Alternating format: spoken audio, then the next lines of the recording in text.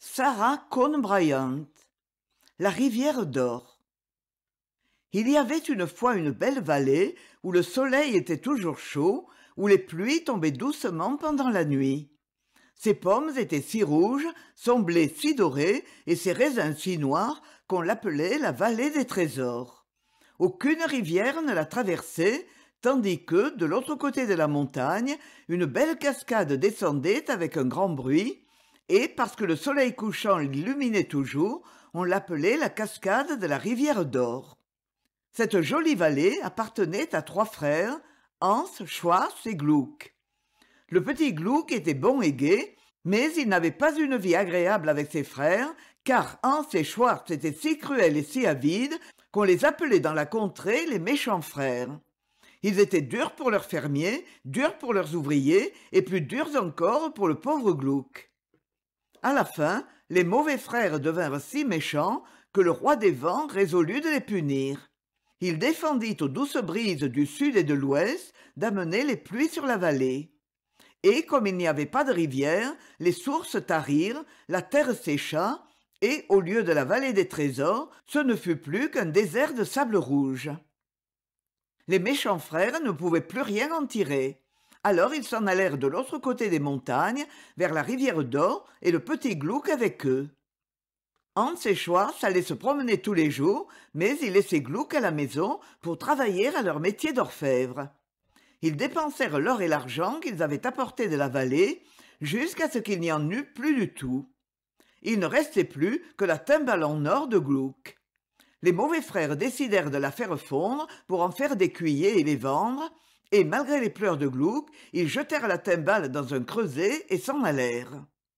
Le pauvre petit Gluck s'assit près de la fenêtre en essayant de ne pas pleurer. Il aimait tellement sa jolie timbale. Comme le soleil allait se coucher, il vit la belle cascade de la rivière d'or devenir rose, puis jaune, puis couleur d'or. Oh, se dit-il, comme ce serait beau si la rivière en était vraiment tout en or. Je ne serais plus pauvre alors. Ce ne serait pas beau du tout, dit une petite voix grêle et métallique tout près de lui.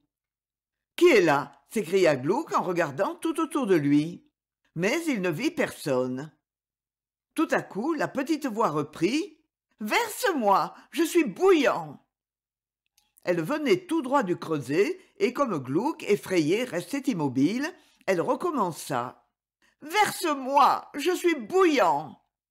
Gluck avait grand peur, mais il se pencha et regarda le creuset. L'or était fondu. La petite voix répéta. Me verseras-tu à la fin?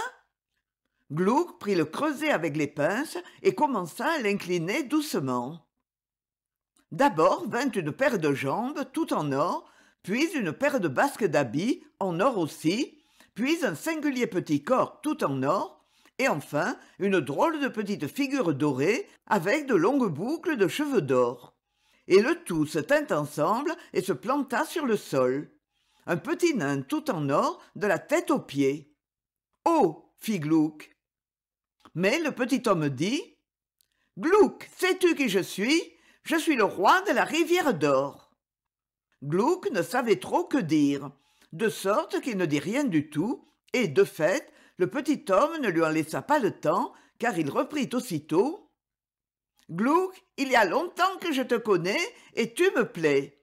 Écoute bien, si quelqu'un arrive à grimper jusqu'en haut de la grande montagne d'où descend la cascade, et à laisser tomber dans la chute trois gouttes d'eau bénite, alors pour lui, et pour lui seulement, les eaux se changeront en or.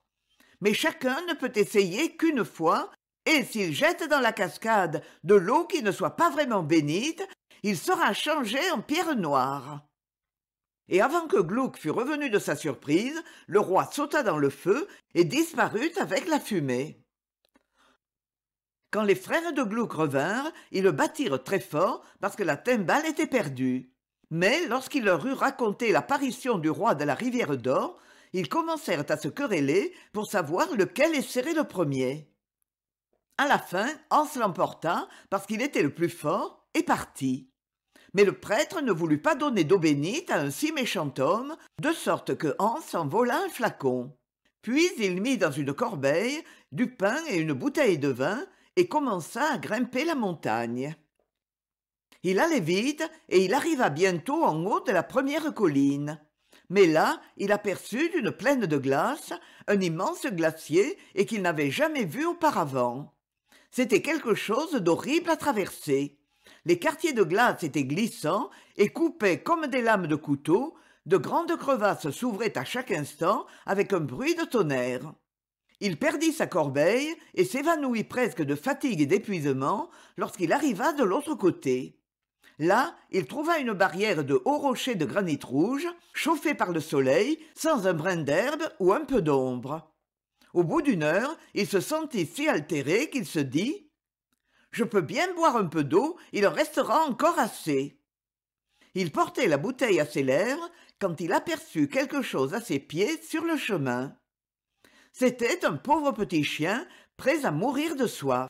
Il haletait ses jambes étaient déjà raides et des myriades de fourmis grimpaient sur ses lèvres.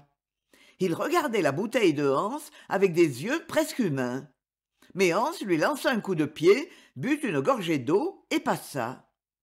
Une ombre étrange couvrit le ciel bleu. Hans grimpa une heure encore. Les rochers devenaient plus brûlants et le sentier plus étroit. À la fin il n'y tint plus.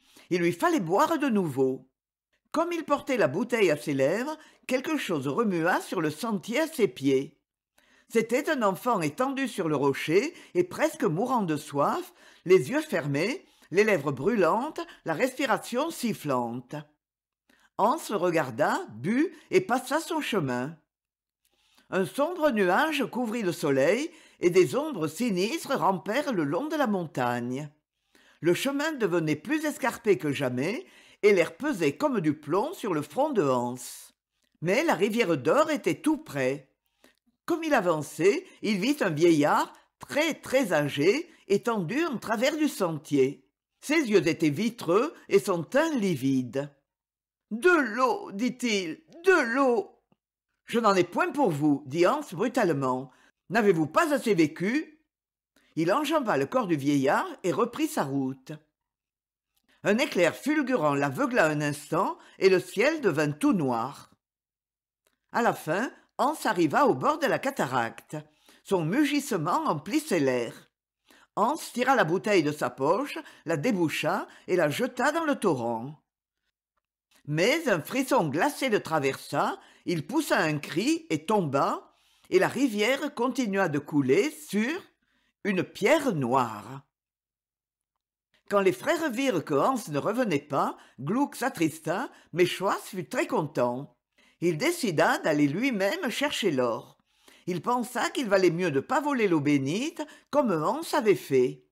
Il prit donc de l'argent que gluck avait gagné et trouva un mauvais prêtre qui lui vendit de l'eau bénite.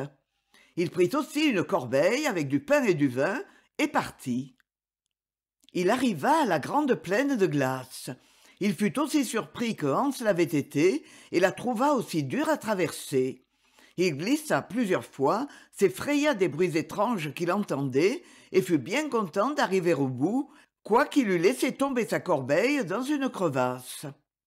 Puis il vit la même barrière de rochers rouges sans herbe et sans ombre que hans avait vue lui aussi ressentit une soif très vive et comme il portait la bouteille d'eau bénite à ses lèvres il vit le petit enfant à ses pieds de l'eau! cria l'enfant de l'eau! Je meurs de soif! Je n'en ai pas même assez pour moi dit schwartz. Et il passa. Une longue bande de nuages noirs se leva du côté de l'est. Quand schwartz eut encore grimpé une heure la soif le reprit plus vive que jamais. Il porta le flacon à ses lèvres et cette fois il vit un vieillard qui lui demandait de l'eau je n'en ai pas assez pour moi-même lui répondit-il et il continua son chemin. Mais quand il eut fait quelques pas il se retourna et ne vit plus personne. Alors il se tint sur le bord de la rivière d'or. Les vagues étaient toutes noires et la cataracte faisait un bruit effroyable. Il jeta son flacon dans le courant. Mais un éclair passa devant ses yeux la terre céda sous ses pas et la rivière continua à couler sur deux pierres noires lorsque gluck eut attendu plusieurs jours sans voir revenir ses frères il décida d'essayer à son tour. Le prêtre lui donna de l'eau bénite aussitôt qu'il lui en demanda. Il mit le flacon dans son sac prit une corbeille où il mit du pain et une bouteille d'eau et se mit en route. Le glacier fut beaucoup plus difficile à traverser pour lui que pour ses frères parce qu'il était plus faible. Il perdit sa corbeille tomba souvent et arriva épuisé de l'autre côté il commença de gravir les rochers au moment le plus chaud de la journée. Quand il eut grimpé une heure il eut soif et porta le flacon à ses lèvres. Alors il vit un vieillard qui lui barrait le chemin je suis accablé par la soif lui dit cet homme pouvez-vous me donner un peu de cette eau? Glouck vit qu'il était pâle et fatigué et lui tendit la bouteille en disant s'il vous plaît n'en buvez pas trop mais le vieillard en but une forte gorgée et la bouteille était aux deux tiers vide lorsqu'il la rendit à glouck en lui souhaitant un bon voyage et glouck repartit joyeusement. Or un peu d'herbe était apparue sur le sentier et les grillons commencèrent à chanter. À la fin de l'heure suivante la soif de glouck revint plus forte et comme il voulait boire un peu il vit un petit enfant couché à terre et qui pleurait de soif après une courte hésitation glouck décida de supporter la soif un peu plus longtemps. Il mit la bouteille aux lèvres de l'enfant. Il ne resta plus que quelques gouttes d'eau. Alors il se remit en marche. Toutes sortes de fleurs apparurent sur les rochers partout où il y avait un peu de terre. Une heure encore la soif de glouck était intolérable.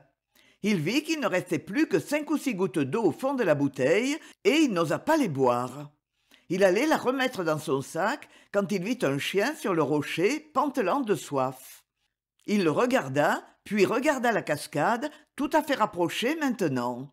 Il se rappela les paroles du nain personne ne peut essayer plus d'une fois et il essaya de passer outre. Mais le chien se mit à gémir si piteusement que glouck ne put y résister périsse le roi et son or cria-t-il et il versa tout ce qui restait d'eau dans le gosier du chien. Subitement le chien se redressa sa queue disparut son nez devint rouge ses yeux brillèrent. Ce n'était plus un chien mais le petit roi de la rivière d'or lui-même. Il se baissa et cueillit un grand lys qui avait poussé au pied de glouck sur les pétales d'argent il y avait trois gouttes de rosée.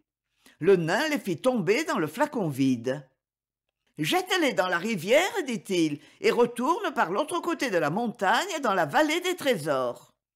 Puis il disparut. Glouck s'avança sur la rive de la rivière d'or et jeta les gouttes de rosée dans le courant. Un petit tourbillon se produisit mais l'eau ne se changea pas en or. Au contraire elle semblait disparaître et s'enfoncer graduellement. Glouck fut un peu désappointé mais il obéit au roi il passa la rivière à gué et descendit l'autre versant de la montagne et voilà. Quand il arriva dans la vallée des trésors une belle rivière semblable à la rivière d'or jaillissait d'une nouvelle brèche dans le rocher et coulait sur le sable sec. À mesure qu'elle s'avançait de l'herbe poussait sur ses rives des fleurs s'ouvraient partout et des vignes commencèrent à couvrir les pentes. La vallée des trésors était redevenue un jardin glouck vécut dans la vallée. Les raisins étaient noirs les pommes étaient rouges et les épis étaient dorés glouck redevint riche mais jamais les pauvres ne furent repoussés par lui. Pour lui comme le nain l'avait dit la rivière était réellement une rivière d'or